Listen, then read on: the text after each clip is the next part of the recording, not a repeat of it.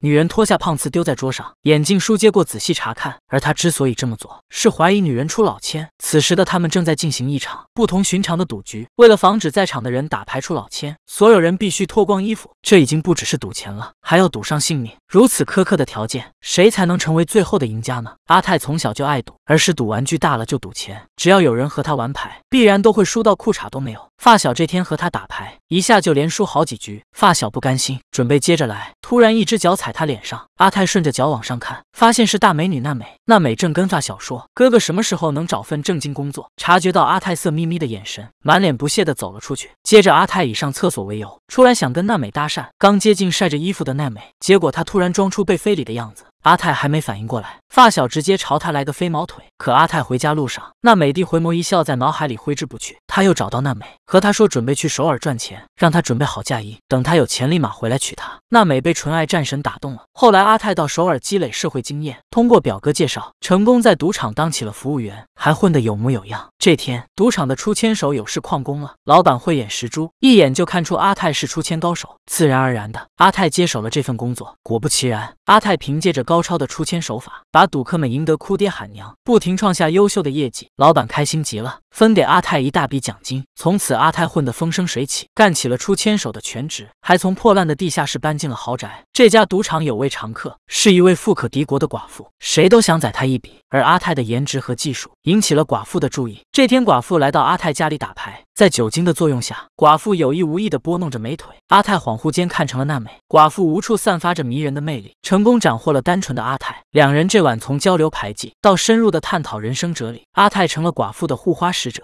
第二天，濒临破产的老板决定要狠狠地宰寡妇一笔，让大伙先让几局给寡妇，等她飘了，在最后一局赌注压到最大，把寡妇棺材本都赢过来。但如果失败的话，那么老板就彻底破产了。可如今阿泰作为纯爱战神，怎么可以让女人受到伤害？私下和寡妇说，以后不要再来赌场了。此后很久，赌场都没看见寡妇身影，众人都以为寡妇已经卷钱跑路。可就在这天，老板让阿泰去屋里招呼赌客，赌客正是寡妇。阿泰顿时傻眼了，无奈只能按照老板计划行事。可到了最后一局，众人愣在原地，屋子里充斥着寡妇的笑声。很显然，寡妇把把赌场的钱全赢走了。阿泰瞬间明白，寡妇装成小白鼠骗了所有人，包括阿泰自己。为了挽救赌场，阿泰和表哥找到眼镜叔，都说眼镜叔的钱非常好骗。阿泰信心满满，准备开干。可眼镜叔却说：“等他妞到了再打。”此时，一个女人走了进来，阿泰愣在原地，对方正是初恋女神娜美。看着眼镜叔明目张胆的揩油，阿泰心里五味杂陈。眼前人已非彼时人，他把火气全撒眼镜叔上，眼镜叔接着疯狂连跪。殊不知阿泰已经入套，眼镜叔让娜美去开窗户。阿泰看着那美胖次挪不开眼，那美发觉后说：“偷看女人胖次会遭报应的。”果然，在接下来，局势逆转。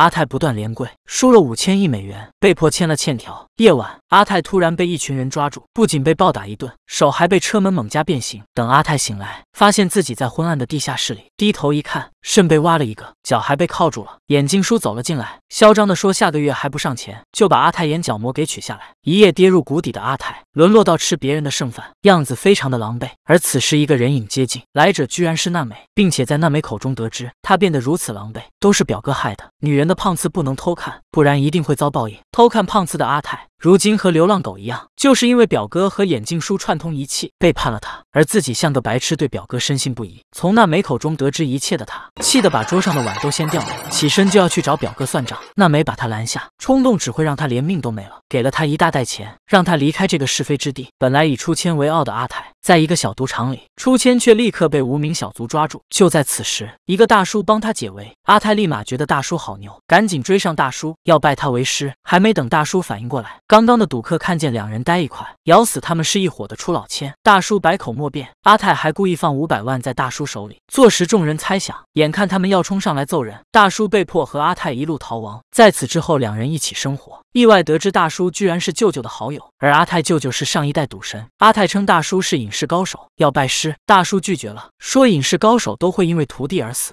阿泰却说，如果死了他会报仇。阿泰成功拜大叔为师，还被带到各种赌场上实地学习。一张做了小记号的牌都能被师傅立刻看出。下一秒，师傅借对方打火机，眼疾手快把那牌拿走了。接着，师傅还装模作样说牌少了，大家一起找一下，顺势让阿泰买副新牌。阿泰问师傅：“需要藏牌的话该怎么办？”师傅说：“当然是吃掉了。”阿泰傻了，牌那么硬咋吃？师傅笑笑不说话。两人日子渐渐好了起来。就在这天回家的时候，阿泰意外看到了被围殴的表哥，愤怒的朝表哥冲了上去。表哥立马认怂。阿泰怎么也没想到，当初赌场倒闭，老板破产，其实是寡妇和表哥的手笔。阿泰从始至终就是个替罪羊。阿泰虽然恨，但他不再心高气傲，学会了忍耐，转身打算离去。可表哥又说个消息，娜美因为当初帮了阿泰，被卖到一个赌场里了。阿泰马不停蹄地赶了过去。好巧不巧，这家赌场小老板与他有过节。当初阿泰还在乡下，一天晚上去赌场找爷爷，发现有人在向爷爷讨债。爷爷赌博欠了一屁股债，但根本没钱还。阿泰为了保护爷爷，跟小老板打了起来，结果却意外刺伤了他。小老板一眼就认出了阿泰，拿起一把刀插在桌子上，赢了就能带那美走，但前提是要砍手，输了的话自行砍掉自己的手。赌局正式开始。阿泰回想起师傅的话，那天师傅教他如何通过对方眼睛判断对方的心理，看到喜欢的东西瞳。孔会扩张，反之会缩小。此时阿泰不看牌，只看娜美的眼睛，手不停地扫过不同的牌。当他停在一张牌时，看到娜美的瞳孔放大，便毫不犹豫抽出这张牌。最后阿泰赢了。接着他拿起了刀，娜美已经做好准备，闭上眼睛。下一秒，阿泰把刀插在自己手上。小老板傻了。阿泰表示，小老板又没说赢了砍谁的手。结果小老板有点不服气，阿泰又把手上插的刀用力地往下按，这可把娜美心疼坏了，赶紧撕下裙角给阿泰包扎。接接着阿泰迅速夺走。娜美的卖身契，两人把纸烧了，帅气地点了烟。小老板更不服气了，又说还有五十亿利息没给。这时师傅走了进来，扔下一百亿，还说剩下的不用找了，带阿泰、娜美离开了现场。师傅告诉阿泰，小老板是赌神的孙子，师傅断掉的手就是赌神砍掉的，劝阿泰戒赌。不然只能祈祷别碰到赌神。晚上，娜美和阿泰说起了往事。当时他去赌场找哥哥，结果被眼镜叔看到，起了歪心思，给哥哥下套欠一屁股债，骗娜美替哥哥还钱的话，就去赌场上班抵债。结果眼镜叔在他水里下药，等娜美醒来，已经没了清白，被迫成为了眼镜叔出老千的工具人。而哥哥没能报仇成功，被抓去吃牢饭。纯爱战神得知后满眼心疼，表示会爱娜美一辈子。两人兜兜转转，终于在一起了。这天，两人和师傅一起开心的逛街，期待着。未来的种种美好，可眼镜叔的打手打破了他们的幻想。打手扬言要带走娜美，阿泰第一个不同意。让师傅和娜美先走，他断后，结果一下子就被打手撂倒。娜美和师傅跑到烂尾楼，结果娜美也被撂倒。师傅为了救娜美，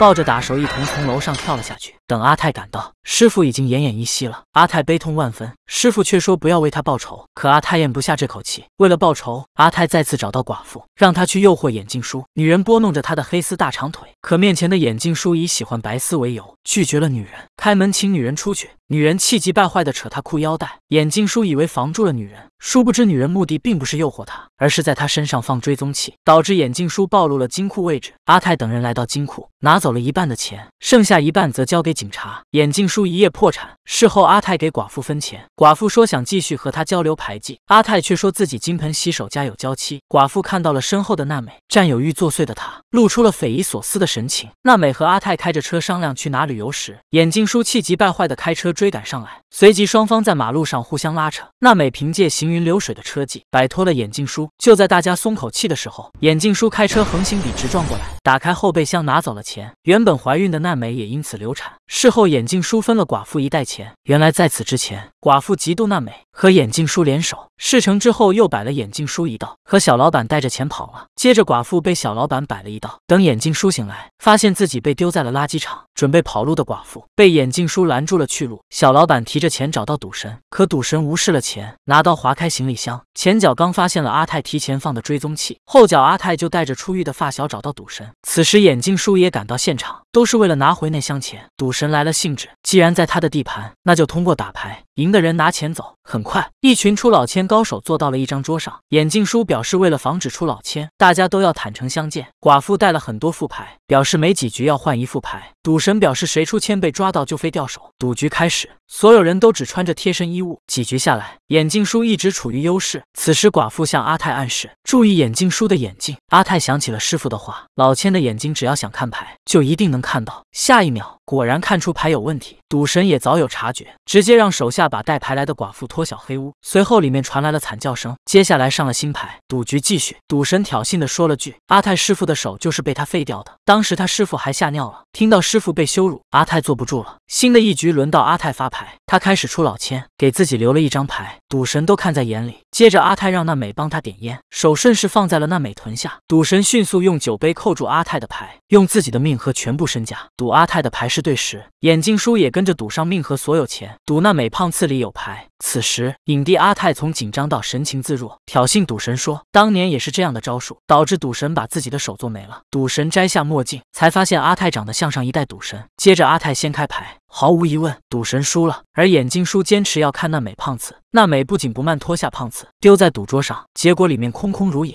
阿泰赢了，发小起身去拿钱，小老板拿枪拦住去路，发小反手就给他来了一枪。眼镜叔情绪激动，拿斧头砍电闸。黑暗中不停响起枪声，等灯再次亮起，眼镜叔已经领盒饭了，而发小腹部也受伤。正当阿泰三人离开时，发小突然变卦，拿枪对着阿泰和娜美，独自开车跑路了。几天后，电视里报道了发小死亡新闻，娜美失落的抱着哥哥的骨灰，问阿泰当初那张牌藏哪了？阿泰却说吃了。这时两人收到了发小死前寄来的信，根据里面。的指示找到了一大袋钱，原来发小反水是为了做戏给阿鬼看，和阿泰他们划清界限，阿鬼才不会对阿泰娜美下手。两人带着师傅和发小的遗愿，从此金盆洗手，过上安稳的生活。